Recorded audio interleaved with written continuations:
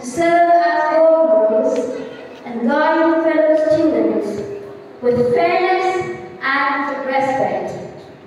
We